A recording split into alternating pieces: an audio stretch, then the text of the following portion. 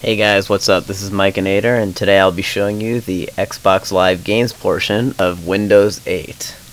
So as you can see right here, I've got my whole Windows 8 set up, and we're just going to click right over here to Xbox Live Games.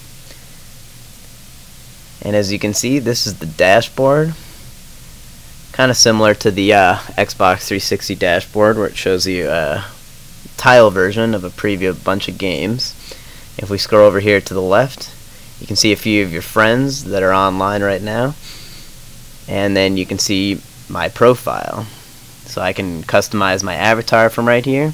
I can view all my achievements if I really wanted to.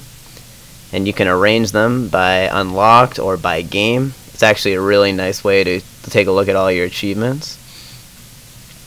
Really very uh, detailed, unlike the Xbox 360 view and the Xbox.com view. You can also edit your profile here, which is a really nice feature, and uh, you don't have to go to the website anymore to do that.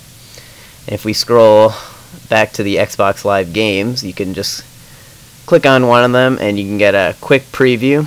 You can buy any game from right here, uh, or you can launch it if your uh, PC is hooked up to your Xbox, which is actually a really nice feature. So that'll allow you to launch the game from your computer and it'll start playing it on your Xbox if your Xbox is on.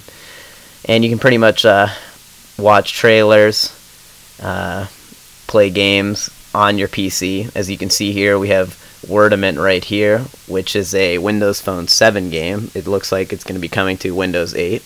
And same with Solitaire. So those games will probably pick up uh, some sort of achievements or Xbox Live features. Here you can see uh, your the activities in your games, your recently played games, and if you have any friends online playing those games, sort of like the beacons feature.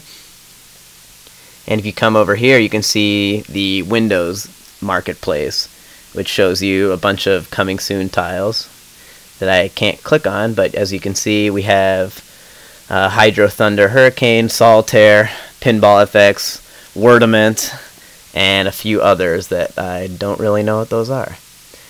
And then, of course, you have the Xbox Marketplace where you can buy games here, play them on your Xbox, connect arcade, full retail games.